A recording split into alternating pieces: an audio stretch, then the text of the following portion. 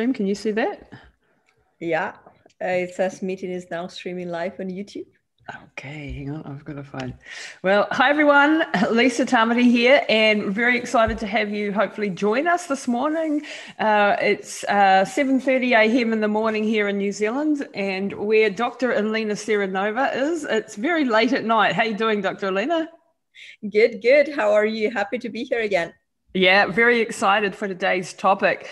So, we're going to be doing a discussion around autophagy and NAD boosters uh, and sirtuin genes. So, it's going to be a really interesting uh, discussion that is really beneficial for you if you want to know how to live longer, live healthier, uh, and optimize your, your, your body and your mind and your potential. So, uh, Dr. Alina, can you just tell us briefly a little bit about yourself? Sure. Uh, so I um, I started my journey as a psychologist. So I'm an interdisciplinary scientist. I I majored in psychology at first, and then I had my own uh, private practice for five years, which turned out to be a successful wellness center. And I I really got fascinated by neuroscience and the brain.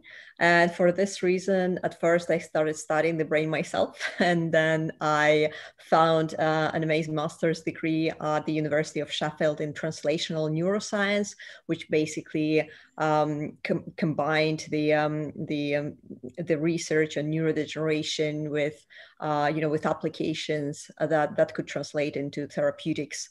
Mm-hmm. Um, so this is what translational neuroscience means. It's basically the, uh, um, the, the, the, the, combination and the outcome of the research of the, the hardcore biology research that can be utilized for, for therapeutic approaches in patients. Mm-hmm and um, I uh, I really enjoyed that. So that was quite cool, uh, being in the lab and you know doing molecular biology experiments and so on.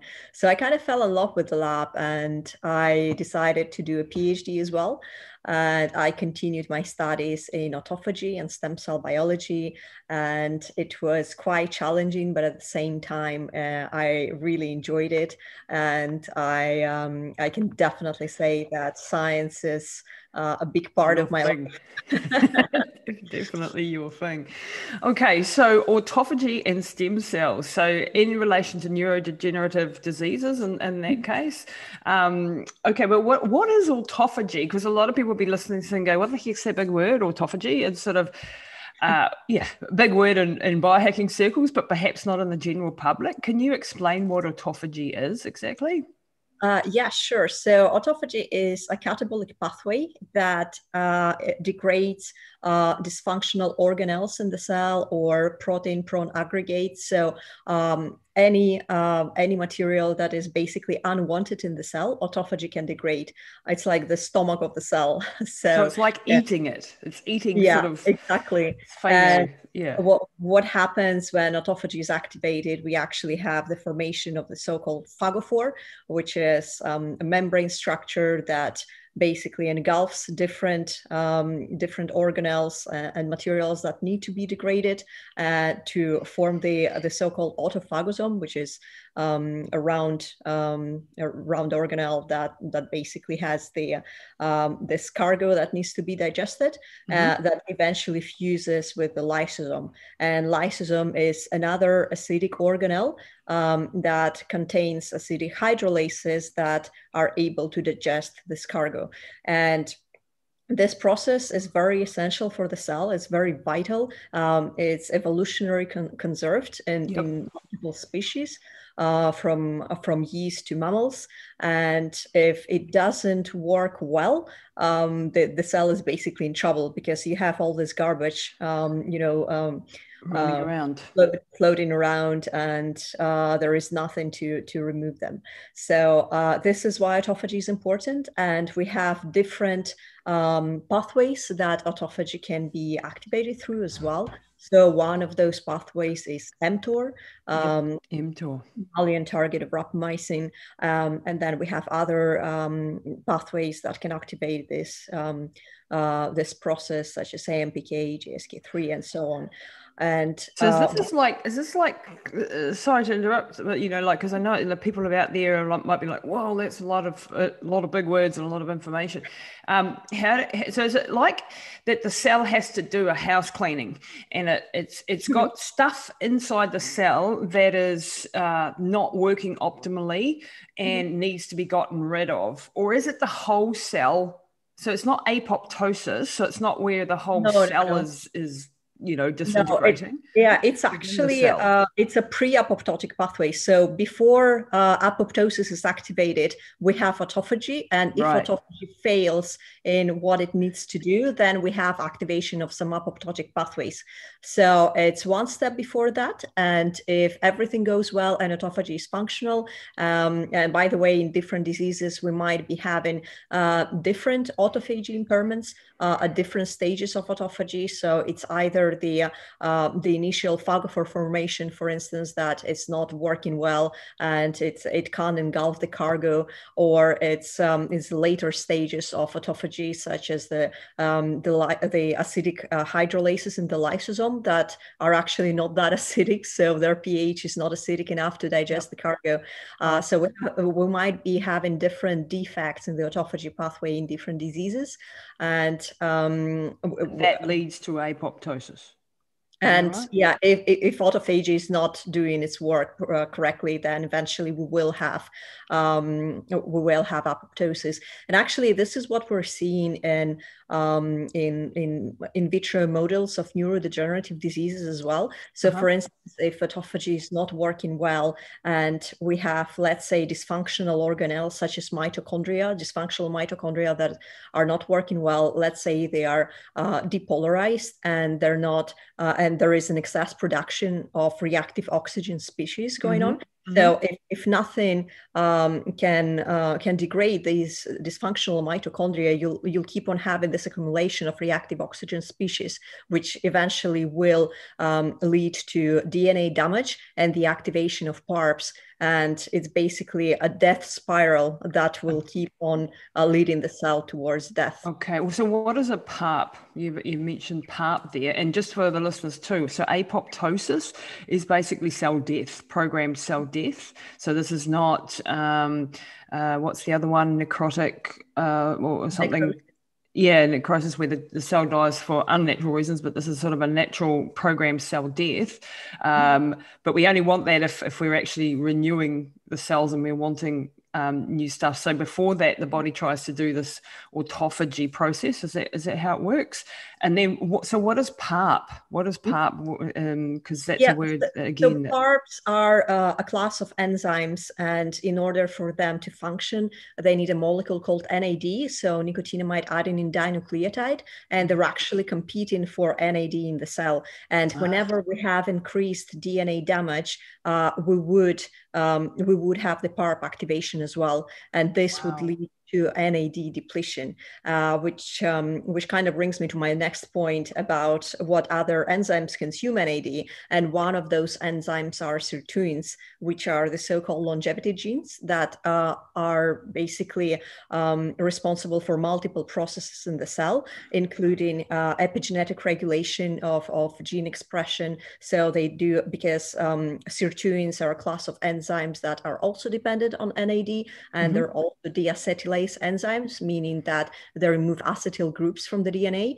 Yeah. And as a result, they control which genes will be expressed in which tissues, which is very crucial for the cellular identity and for the proper um, uh, function of different cells. Okay. So um, sirtuins in, in a healthy cell, so sirtuins should be upregulated and they should be having this housekeeping gene where um, housekeeping function where um, they basically control what's going on with the um, DNA repair and also with with different uh, with, with, the gene expression as well.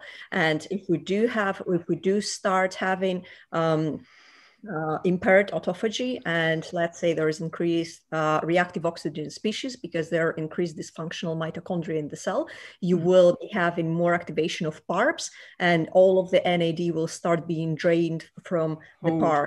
Yeah. And sirtuins will not have enough um, enough NAD to function. Okay. So there is actually quite an elegant interplay between autophagy, uh, NAD, and sirtuins. Okay, yeah, okay. Can I just you know like re uh, put that back to you so that so that we can slow down because we are going quite technical quite fast, and I think a lot of people might be like, "What the heck? What are they talking about?"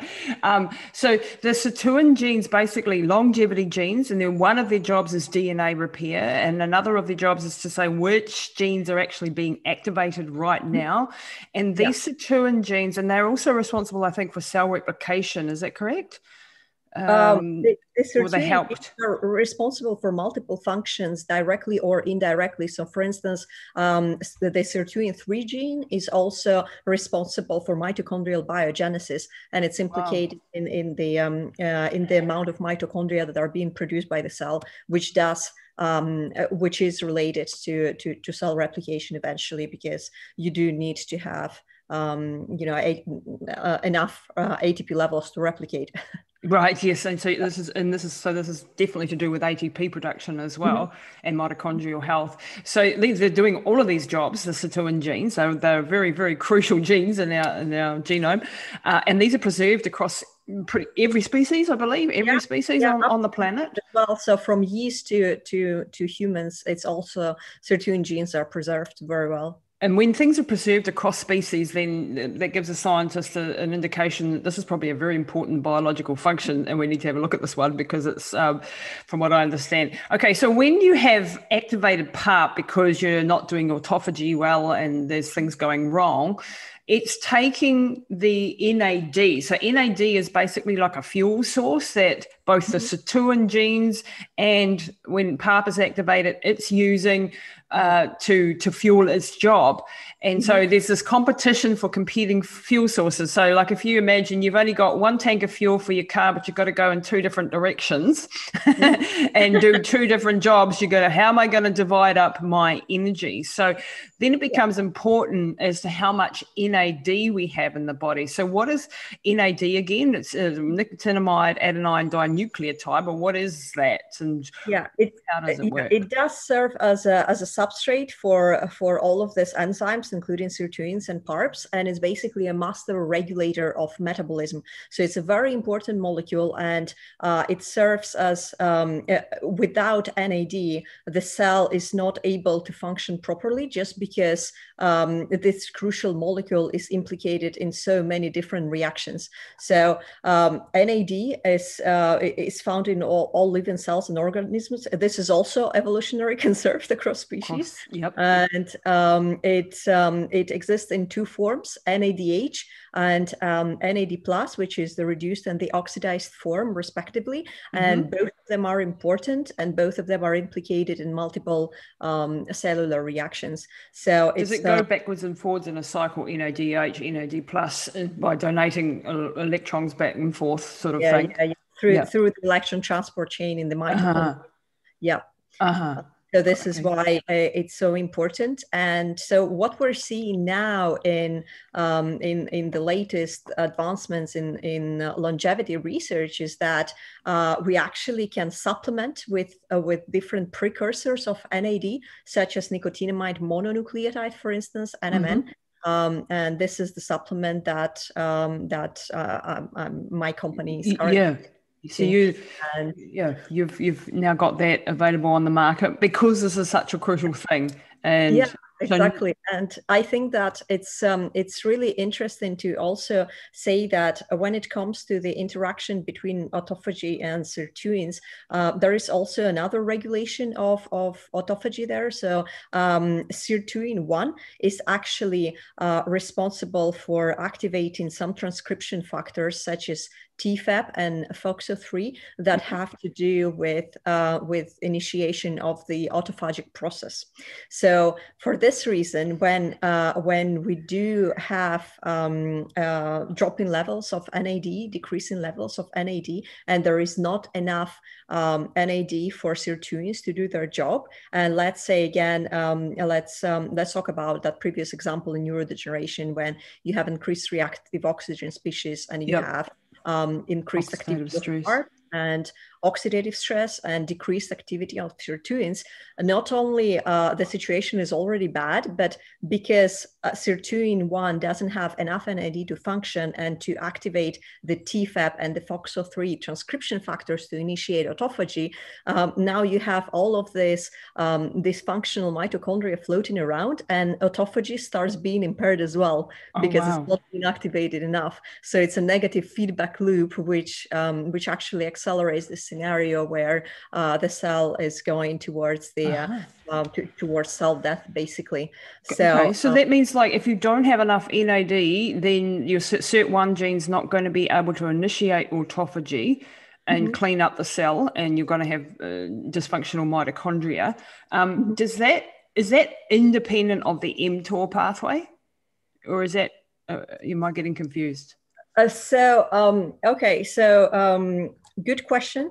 So what happens is, uh, so there are some molecules that activate sirtuin. So for instance, sirtuin one is activated by resveratrol, and this is this is something that has been demonstrated um, uh, many years ago. And when so um, when you have sirtuin one dependent activation of autophagy.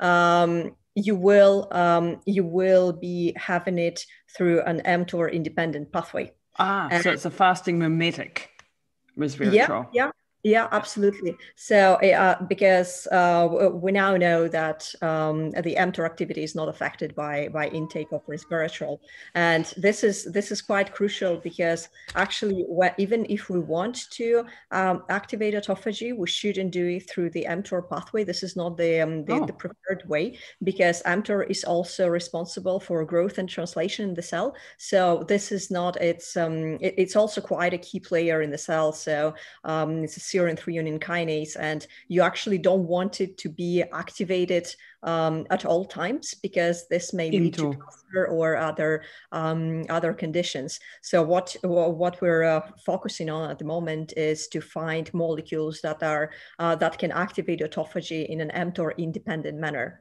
Okay, and, so so yeah. if mTOR because mTOR is usually what's for growth. It's anabolic. It's it's it, it's causing growth. So so for example, a bodybuilder goes to the gym. They're in a in an anabolic state. They are in an mTOR growth state and when you have mm-hmm. Autophagy, that's sort of the opposite. So it's a catabolic state where it's starting to eat itself. So this is why. So with mTOR, most people like do fasting for that reason to to yeah, activate yeah. the autophagy yeah, yeah, this is uh, this is another good point there. So when we're fasting and there, there's actually um, um, conflicting evidence out there as to mm-hmm. when autophagy is fully activated. Yes. So, uh, hours it takes. yeah, um, usually people say that around 24 hours you, you start having the autophagy activation. Um, there are others that swear by the ketogenic diet and say mm. that if you know if you don't um, consume any carbs, you will get the autophagy activation anyway.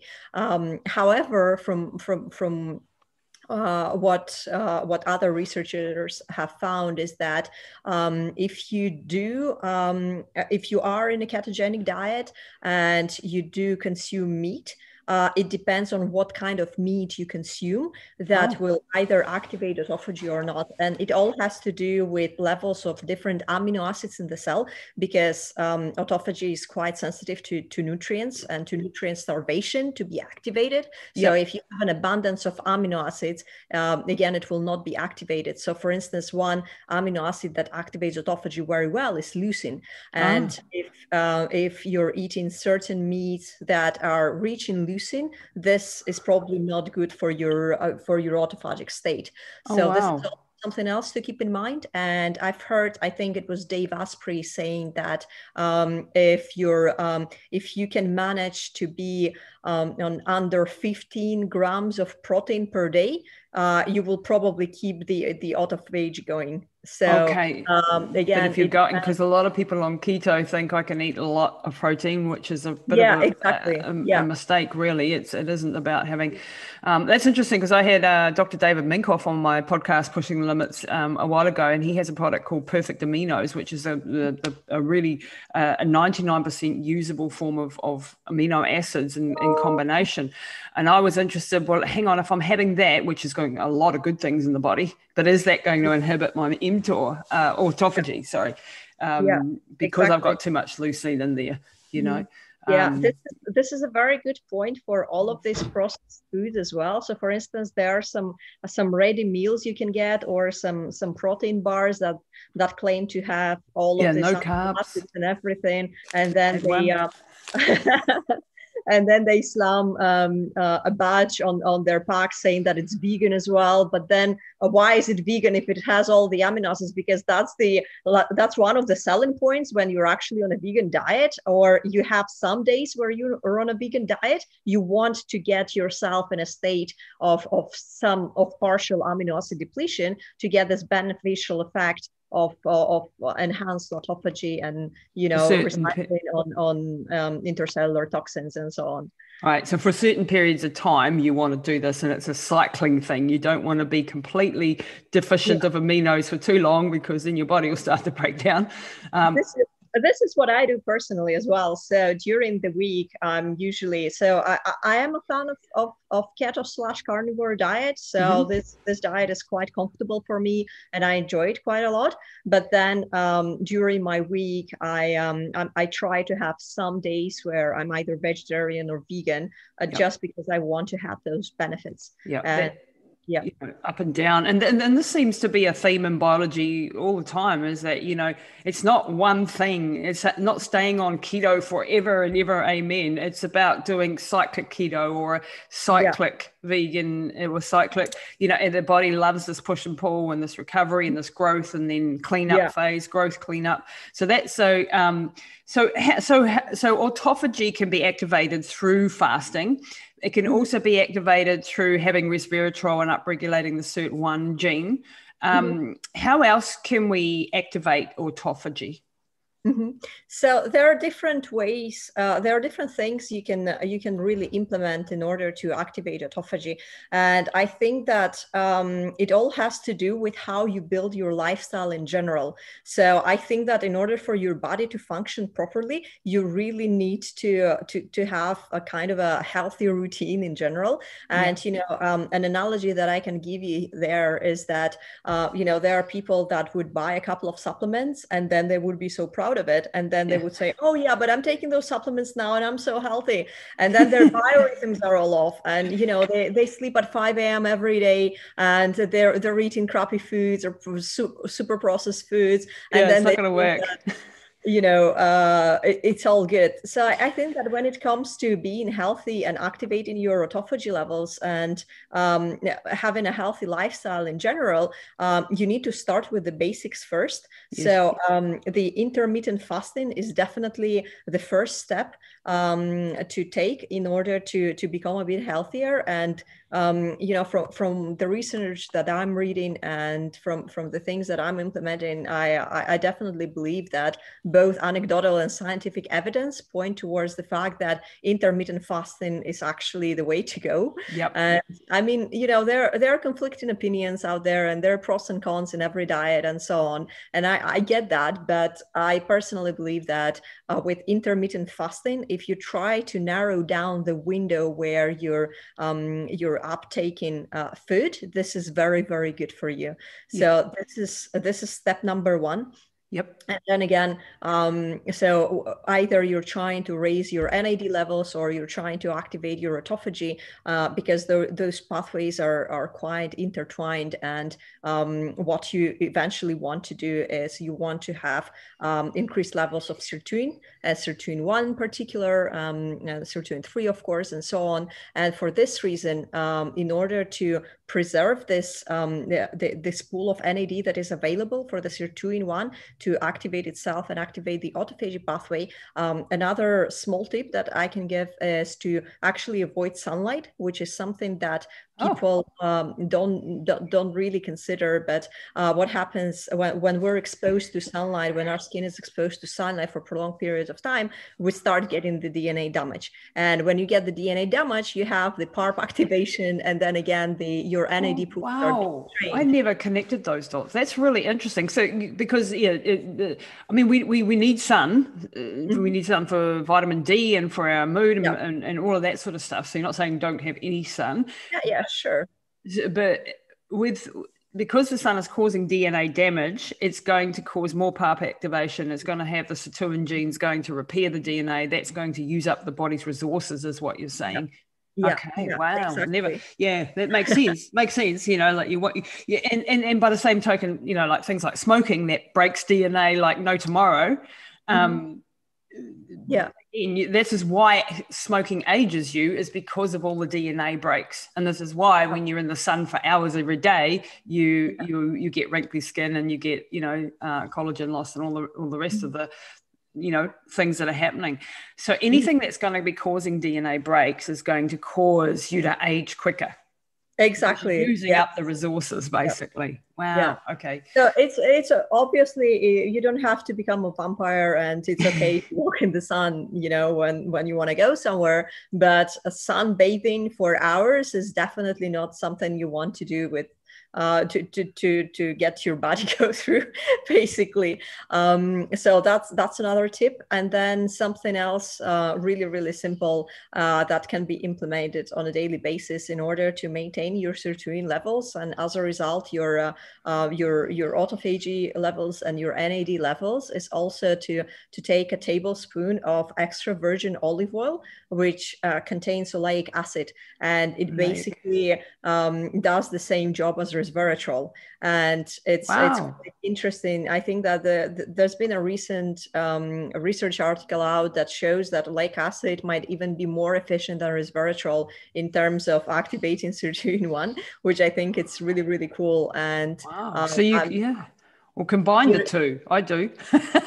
Yeah yeah absolutely. You can do yeah. that and then um, you know you need to make sure that the uh, the extra virgin olive oil is actually of a very good quality exactly. because there's a bunch of you know a bunch of rubbish out there yeah so make sure it's you know from an orchard that you know it's cold pressed it's all those extra virgin it's all that sort of good stuff and not um, uh, how do they do it with solvents uh, and, and stuff or uh, that it's come from multiple orchards and been cut with other oils. It's a really, really important yeah. point.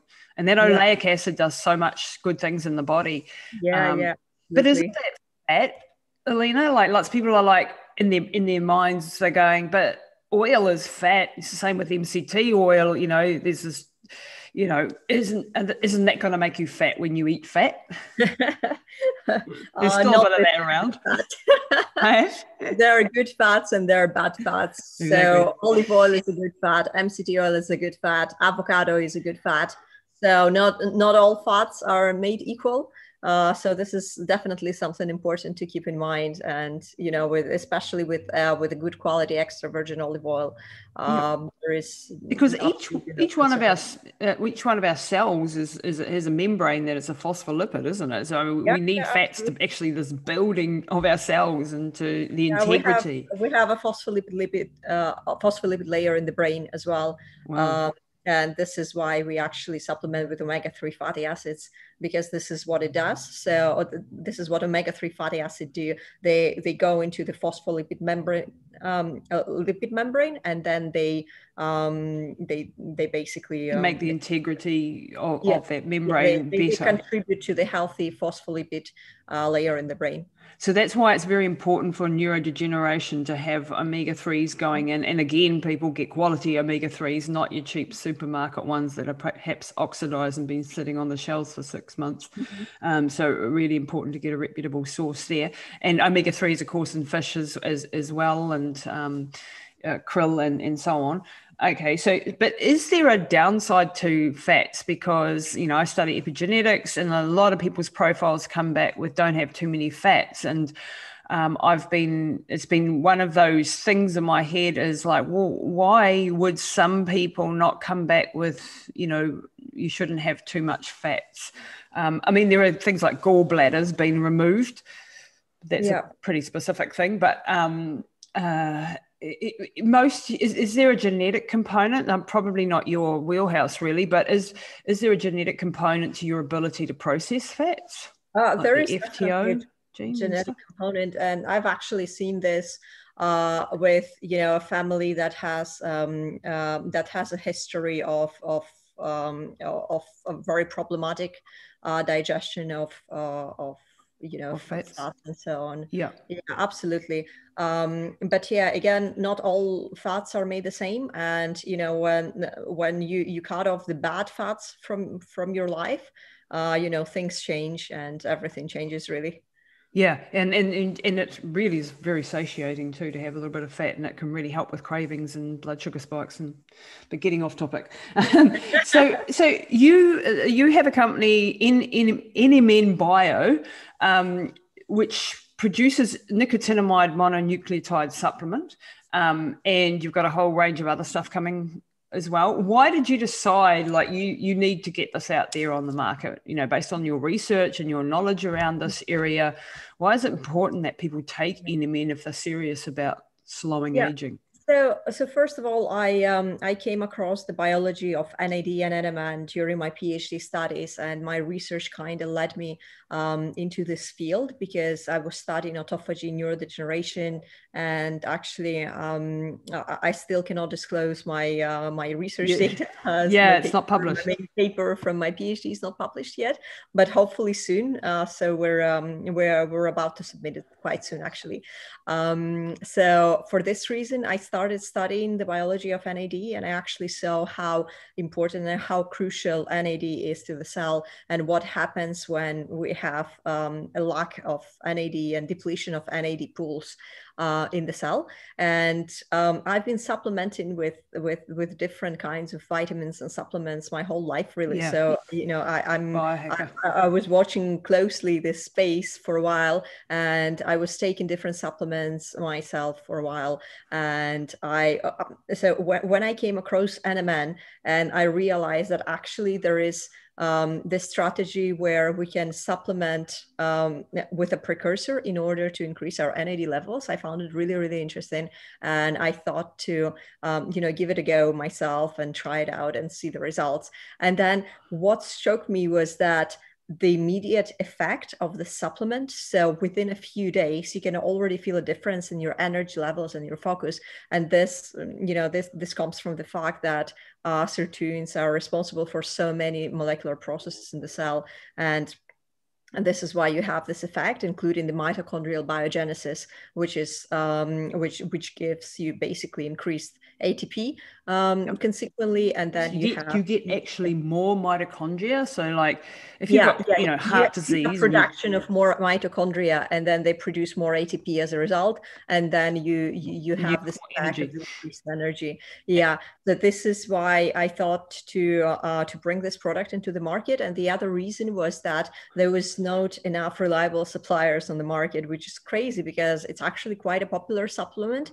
Um, it's been um, it's. Been on the rise. The, the interest was rising for the past couple of years, but uh, what we're seeing is there is a lot of um, you know a lot of uh, white, white labeling yeah. companies that you know don't don't offer any certificates of analysis and, and so on. And also you have um, even big companies not offering proper certificates of analysis which was uh, like it, it, it was so amazing to me. Like yeah i don't understand. You have a big company and you know you have just the purity report from like 18 months ago and you don't have any other analysis such as heavy metals or ph or um, you know microorganisms. So the consumer is actually not confident um, in, in in buying from you. And you know, I wanted the the best quality for myself and my family. And yep. then I said, wait a minute. So you know, this this is not done right. And this is why I, I I launched the company because I wanted a company that was completely transparent.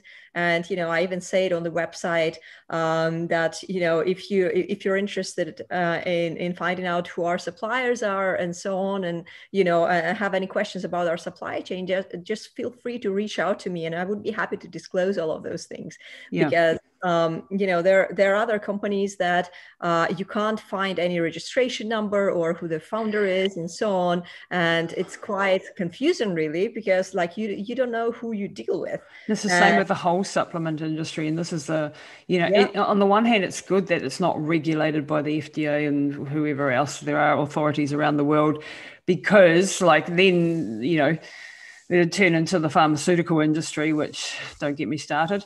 Um, but but on the other hand, there's not there's not enough regulation around the quality control. And one of the things when I was searching for NMN, searching the world for it, I I, I, I had to go overseas and import it to, to friends in America and get it out of there. And and this is why I like was super excited to discover your work. And then uh, you know we've since um, now made it available down here. So we've got a branch down here here in New, in New Zealand for New Zealand, Australia. Um, yeah. And and I wanted someone who I could trust, who has all the, the, the scientific knowledge behind it. There's it's all lab tested, etc.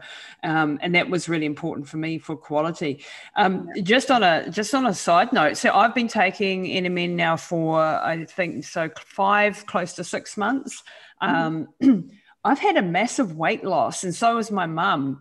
Why would that be? I, you know, like I didn't take it for weight loss. I wasn't overweight per se, or uh, but I had a couple of kilos that I was quite glad to get rid of. And mm-hmm. um, I've, I've what I've noticed because I'm, you know, I'm an athlete. That's my background. Um, I haven't lost a, an ounce of muscle um, muscle, which has been really awesome because most people are struggling to keep muscle mass, lose fat mass. Um, mm-hmm. My mum has lost 11 kilos and she is of a genetic body type that really struggles with weight loss. She's a conservation metabolism um, from a genetic point of view very very hard for her to lose weight so i've never seen this in the history of her entire life um, since i've been around um, that she's it's the weight's just dropped off her is there mm-hmm. some sort of upregulation in, in, in the metabolic pathways? Is, is it improving the insulin resistance? What's it doing there to cause such weight loss without muscle loss? Well, in my studies so far, uh, there is definitely evidence that it does improve insulin sensitivity and it also improves the lipid metabolism profile. So those two are very important. And uh, unfortunately, we don't have those studies in humans yet, but you know more clinical studies are on the way, and hopefully we'll have very good results this year um, with with the NMN. Besides the safety studies that we already have in humans. So in mice, what we're seeing is that there is there is basically basically a, a, a reverse of type 2 diabetes wow. which is you know really impressive and you know if you if you want to correlate this data into humans somehow um, you know I, I would say that uh, obviously i'm not a medical doctor and this is not a medical advice uh, but i would say that it does have to do something with uh, with the metabolism and it basically improves the way your body metabolizes everything and um, it's you know, worth trying. And and there's no downside to NMN, is there? There's no. It's a it's a vitamin B derivative. Although people yeah. have said to me, "Well, can't I just take B three and be done?" And it's like, no, it doesn't work like that. I wish it'd be a heck of a lot cheaper. that's, the, that's the other impressive thing about this compound is that um, it actually doesn't have uh, any, if any, side effects at all. So even in, in studies with mice where um, the, the, dosage that they use in mice is actually much higher than it is in um, uh, the one that uh, we're, we're usually having in humans. So for instance, if someone would take 500 mg or one gram of NMN per day in humans, and then in my studies, they use something like 200 mg per, per kilogram of weight which is much much more and it still doesn't have any side effects well, so, is that then, uh, do we need higher dosages of it then, like in the human, like, or I is mean, it only been tested to one gram? And why has it not been tested higher if that's the case? Uh, no, I think that there are studies on uh, underway uh, for this as well. Uh, so eventually we will find what is the ideal dosage for humans. I think that from from you know anecdotal evidence, people can already see results from 500 mg or one gram and so on. There are people that take more. So you know some biohackers say that they take two grams or four grams uh, and is still very well tolerated.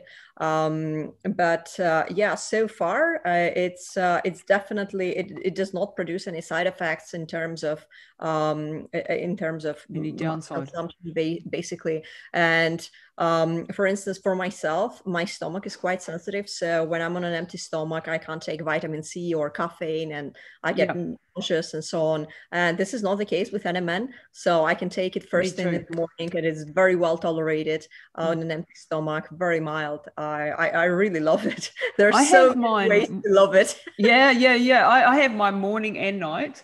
uh, so I'm on a gram a day. Um, mm-hmm. And I have. Is there any reason not to take it at night? So I split the dose.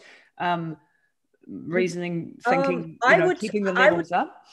Yeah, I mean, I would probably take it all in the morning. I think that th- there's been a study out that it can affect the circadian rhythms as well.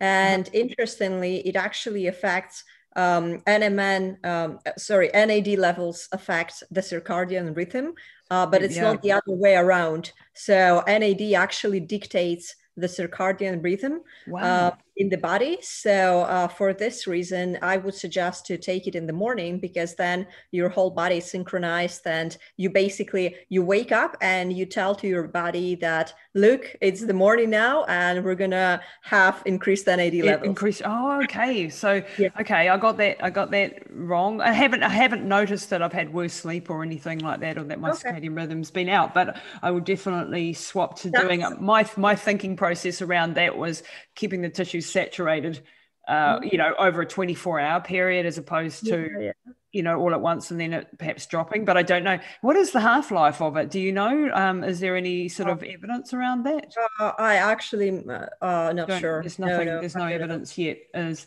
and so yeah, the, there's a ton of studies still being done that are currently like this year, like going to be coming out, which is going to be really exciting.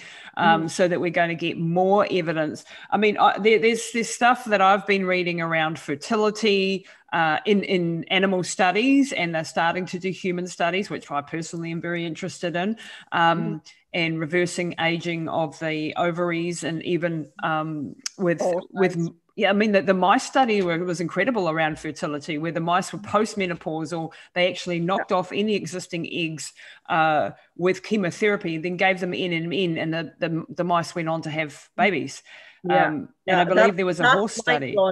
This is why I got so excited about NMN, and this is why it's my first product because, um, frankly speaking, as a scientist, I've never seen results like that with a wow. natural compound. No, you know, there, because there is a bunch of uh, natural compounds out there. There is a, a, bunch of other supplements, and you know, we were talking about spermidine the other day. Yeah, yeah, and another you know, very interesting. Uh, another autophagy activator. Uh, quite an interesting supplement, yes. Uh, it, uh, uh, by the way, it's also an mTOR independent autophagy activator, which is good. Another very yeah. good reason to take that as yeah. well. And we, we're looking into that, aren't we, uh, Elena, yeah, about absolutely. adding that? Yeah, yeah to the we will look into this, but uh, but again, it's not like you can't like you don't see results like the ones that you see with NMN in multiple studies um, from from other compounds. It's really fascinating. Wow. So yeah, so there are other products that are going to, and this is a super exciting thing. Like where you know where our grandparents or our parents even didn't get the chance, like you know with um, aging was aging, and there was nothing that you really could do to influence how fast yeah. you aged. That well, they they weren't aware of it, and later mm-hmm. on, it's become oh well, if you eat better and you exercise a little bit more and you stop smoking and and stuff, mm-hmm. you'll you'll age slower. But now we're taking exponential leaps in our knowledge. I mean, I do, I I fell into this realm when I was uh, reading Dr. David Sinclair's book, who's a very prominent scientist at Harvard Medical School, and read his book Lifespan, which I totally recommend people reading.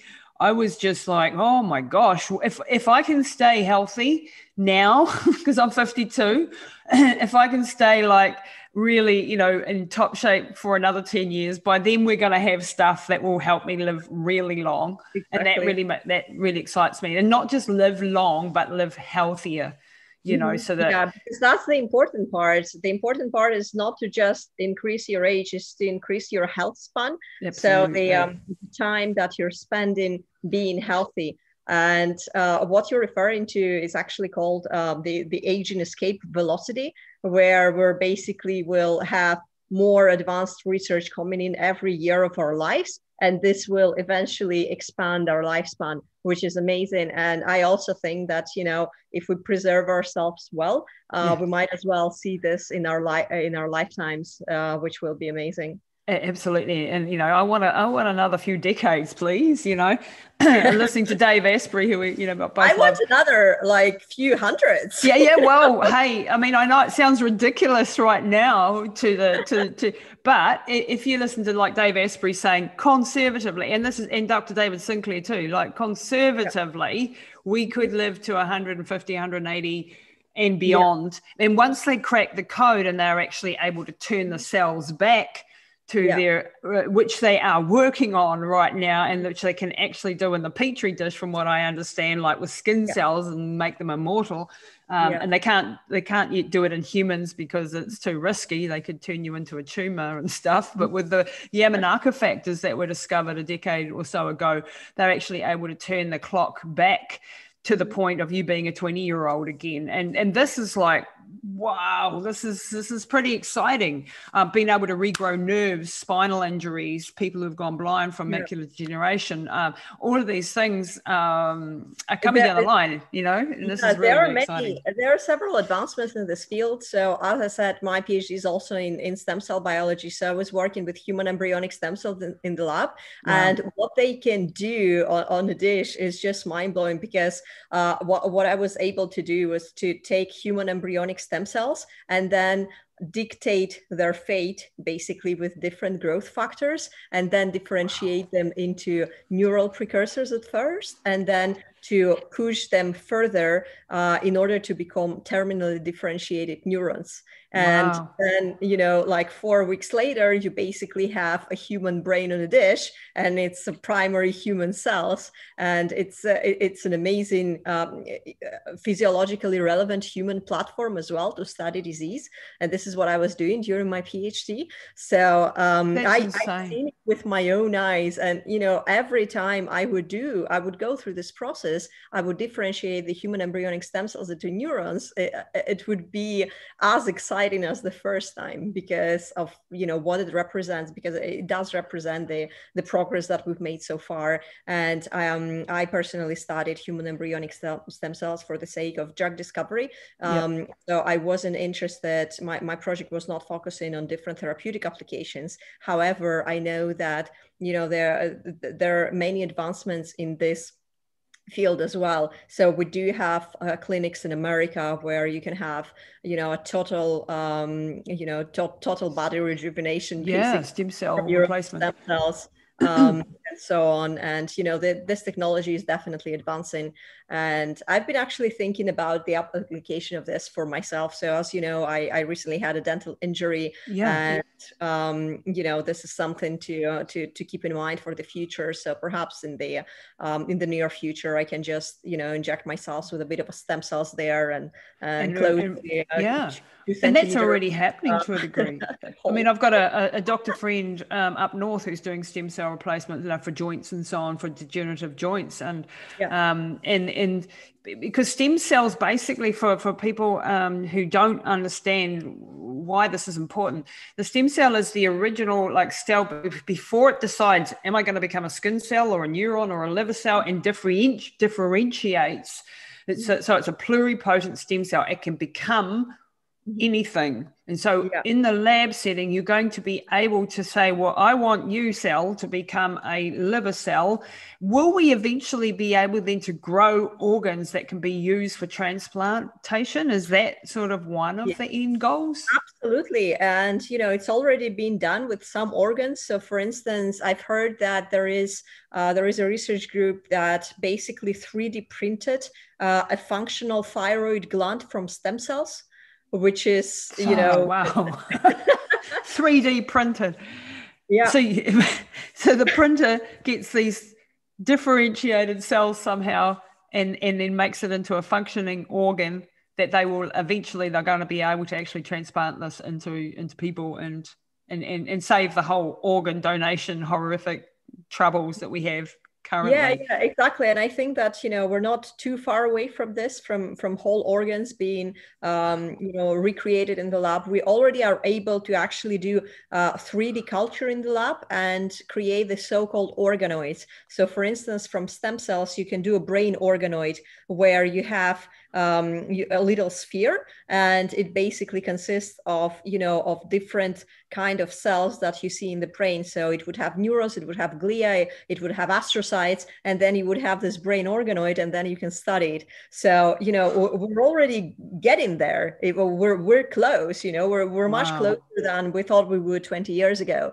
And you know i think that you know we're not far away from from having um, different kinds of organs being grown in the lab for for transplants and so on. Hopefully not our brains because we want to the seat of who we are and where our uh, uh, you know it gets a bit, a bit like honestly reading dr uh, sinclair's book i was like like am i in a star trek movie or something? You know because it is pretty pretty uh, amazing. But when you do this you also start to understand the whole process and how the whole thing functions and then you can actually you know already slow down neurodegeneration and um, and and optimize things. And and so the the That we're talking about right now is the beginning of this really exciting road, um, mm-hmm. which you know we're going to be staying abreast of and and uh, you know hopefully adding to uh, what what what we have available to the to the consumer right now for prices that are not moon money you know that it's out of anybody's reach but actually what you can do today so that you can preserve your health so that mm-hmm. in 10 years time um, when the real crazy stuff starts coming online you'll be able to live longer and healthier lives. That's that's the whole goal of it. Um, so can you just before we ra- just wrap up i just wanted to reiterate again. So how is autophagy can you just put that how is autophagy related to nad and the sirtuin genes? Can you just put that mm-hmm. two pieces together again and just repeat that a little bit Mm-hmm. Sure. So basically, what happens is that um, you do uh, need autophagy to recycle different damaged organelles in the cell uh, when something goes wrong. So, um, and this is this is quite prominent in neurodegeneration because um, the reason we have, let's say, aggregate-prone proteins in neurons and, and dysfunctional mitochondria and so on is because neurons are terminally differentiated cells. This means that they don't divide anymore. So they rely on autophagy um, in order to um, um uh, for, for, their housekeeping uh, function because they can't divide uh, the, the junk away. Okay. okay. so th- that's the reason why autophagy is important in terminally differentiated cells such as neurons. So and neurons don't differ. So they don't. So there's no Hayflick limit for a neuron. There is just only one when a neuron becomes a neuron, that's a neuron. Okay. Yeah. Yeah. And then that's it. Um, and what happens with um, with the uh, the uh, the activation of uh, of autophagy? One of the signals is um, comes through sirtuin one, which basically can um, can uh, activate the transcription factors that are related to autophagy activation, which is the TFEB fa- um, transcription factor EB and FOXO, um, which are um, basically um, uh, influence the activation of autophagy and more specifically the mitophagy as well. So mitophagy is the arm of autophagy that is responsible for the mitochondrial clearance in the cell. yep. So, mitochond- so mitochondria, just for people, are, are, the powerhouses of the cell. This is where um, a lot of the en- so all of the energy is produced, if you like. Um, and so this is why mitophagy as opposed to autophagy. So mitophagy is doing the same process, but within the mitochondria to keep your mitochondria healthy. Uh, and if your if your mitochondria are not healthy and they're dying, and you're not having enough mitochondria in your cells, then you are going to be sick. And that will, could be heart disease, that could be neurodegeneration, that could be anything. So keeping your yep. mitochondria healthy is the basis of all bloody disease, to put it blatantly. Yeah, exactly. So then, um, if you have um, impaired um, Im- impaired autophagy in the cell, and then you also have some sort of a, a DNA damage going on, uh, such as the one from reactive oxygen species, for example, mm-hmm. then what you'll have is the activation of the PARP enzymes. And uh, PARP enzymes heavily rely on NAD levels in the cell in order to function. And NAD is also a, a substrate for the sirtuin genes that are responsible for also uh, regulating a bunch of, of very healthy, um, a, a, bunch of processes in the healthy cell. And for this reason, if you do have increased activation of PARPs, you, you will eventually get this NAD drain out of the cell, and this will not be enough in order for the sirtuins to, um, to, uh, to, to function properly, and this will also deplete your autophagy. So both um, NAD levels and um, autophagy are important to the cell, and fortunately for us, we can actually replenish the um, the levels of NAD by supplementing with NAD precursors such yep. as NMN. Okay, and so and, and has been proven to be bio, most of bio, bioavailable because there's also like nicotinamide riboside, which is used in a number of supplement companies that I know have nicotinamide riboside, but not many. There are some now, but um, mm. have nicotinamide mononucleotide. And nicotinamide riboside is also a great molecule, but it's two steps away uh, yeah, from exactly. becoming NAD. Yeah, so available. Nicotinamide riboside needs to uh, be phosphorylated and to uh, and thus converted to nicotinamide mononucleotide first, and then this will enter the cell, and then this will um, this will increase the levels of NAD in the cell. And for this reason, uh, so first, you know, the um, the um, area um, um, this area of research was focusing on the NR molecule, the nicotinamide riboside, but then when um, you know when they started studying studying NMN, they actually um, saw that there is increased bioavailability and there is increased levels of NAD that come after supplementation with NMN. Can you take because NAD is a molecule you cannot just uh, take it as a capsule and then it's all good to go. Can you take it as an infusion? Because I have heard of NAD infusions. Is that? I, I mean, it's not available here, but well, and I'm I'm curious myself about this, yeah. and I uh, I haven't done it. I haven't tested it, and from what I've seen, um, so the, the concentration of NAD in those intravenous uh, injections is quite low. And I think that you know uh, the same way uh, that we have many opportunistic companies in the supplement uh, field, we also have many opportunistic clinics that offer this kind of treatments. So um, um, again, this is not something that I have um, studied in depth, and I actually don't know how how you know how well it it will uh, be how available it will be yeah how, how, much will it help um but yeah i mean mm-hmm. this is another way to boost NAD i guess and yeah. you know we can try it out mm. uh, but you know with oral administration of NMN we do have, evidence that um, you know it can boost the levels of NAD in the tissue and uh, in liver tissue and muscle tissue and so on. Um, and also, it's much easier to do, and it's obviously much cheaper because those injections cost a lot. Yes, yeah. Um, just one last question in relation to antioxidants, because I mean, you know, 10 years ago or so, we used to think, oh, reactive oxygen species oxidative stress happens when you know through the electron transport chain when we're, we're, metabolizing and so on. We get all these oxidative stresses and free radicals running around.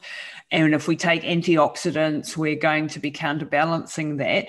Does uh, supplementing with antioxidants like vitamin e like glutathione like vitamin c uh, and, and so on alpha lipoic acid is that going to contribute too to the slowing of aging because it's going to downregulate the the, the PARP enzymes? Um, or yeah, yeah, So, so people were very optimistic about antioxidants. Um, you know, something like twenty years ago. Yeah. And you know everyone was talking about it and so on, but actually the, the, the big studies that have been done have shown that uh, you know, by taking antioxidants, uh, you actually do not suppress aging. And, you know, there are some biomarkers that might have changed in those studies, but most of the biomarkers that they measure stay the same. Um, basically, uh, saying that, you know, antioxidants is not the uh, um, the, the, holy grail aging that everyone was uh, was thinking was of. hoping, yeah. not to say that antioxidants don't have their place because they definitely do, especially if you have a lot of oxidative stress and you need sure. to, you know, yeah. like with vitamin C, if you're infected, or, you know, I've done a whole series on vitamin C. Um, but that it's not the holy grail for um, stopping the aging process, but it probably does help um, with, you know, not having so much PARP activation. I, mm-hmm. I, don't know, as a non scientific brain, I'm just connecting dots. Um, okay, so I think that's probably we've we've um, so so lot from a lifestyle intervention, apart from taking NMN and resveratrol and oleic acid or olive oil, um, eh, and intermittent fasting, is there anything else that we can add to our our anti-aging regime on a lifestyle um, intervention um, side? intermittent fasting, and then uh, you know avoid exposure to sunlight, as we said, um, and and you know sirtuins are being activated from any kind of stress. And what we can do is we can also um, induce some sort of a of an artificial stress which could be done uh, let's say with cryotherapy. This is what cryotherapy does you know when yep. you're exposed to cold um, you know you also have this um, uh, the, the, the stress signal uh, that activates sirtuins or the other way around. So you can you can try out a sauna um, and this will also have the same effect. So um, I think this is this is also hmm. something to keep in mind. Yeah. breathing, breathing. So you know, sort of yeah. um, Tummo breathing, or you know, like what Wim, Wim Hof does, all of that sort of stuff. Um, so these these hormetic stresses, these exercise, obviously, um, that, that yep. cause a cascade of changes and make you stronger. And it, yeah, it, it, it's sort of a, a, balancing act. You don't want to be doing exercise for Africa or really freezing yourself to death, but you just yeah, want to yeah, have yeah. a little stress to cause a change in the body. So these these hormetic stresses can be very very helpful. Okay, well, I think we've um, covered a very, very, very complex topic, and and I hope we didn't lose everybody on the way. But at the end of the day, take NMN, take resveratrol, take olive oil, do your exercise, get in the sauna. If you have a chance for cold therapy, do that as well. Get your exercise, get your antioxidants in there as well. Uh, to a certain degree, um, and and you're going to be able to live long enough until um, other things come online, and you'll be able to improve everything. Sounds good. Brilliant. So, Dr. Elena, um, thank you very much. Dr. Elena has been on the show, NMN Bio. So, we have nmnbio.co.uk uh, in, in the UK and in Europe, and nmnbio.nz. Uh, if you're down this end of the world, uh, we'd love to help you over there. If you've got any other questions, please reach out to us. And thanks very much for uh, being here today. It's been really exciting. Thank you, Lisa. Thank you so much for having me.